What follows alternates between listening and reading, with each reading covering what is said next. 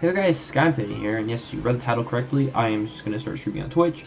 I'm not quitting YouTube, I'll still upload rants. I like to rant.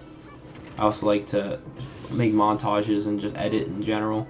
So I'll have my Twitch for live streaming because Twitch is the platform designed for live streaming, believe it or not.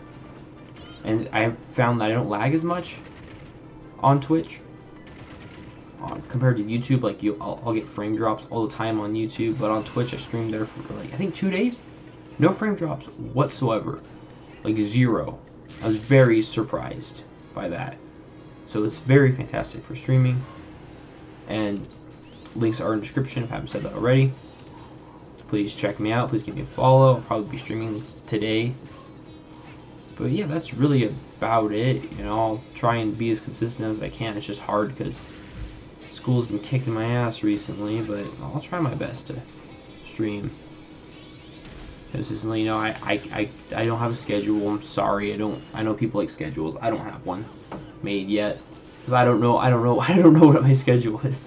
You know, it could be one day where I hang out with friends, another day where I do something else. I have no clue. But yeah, check me out.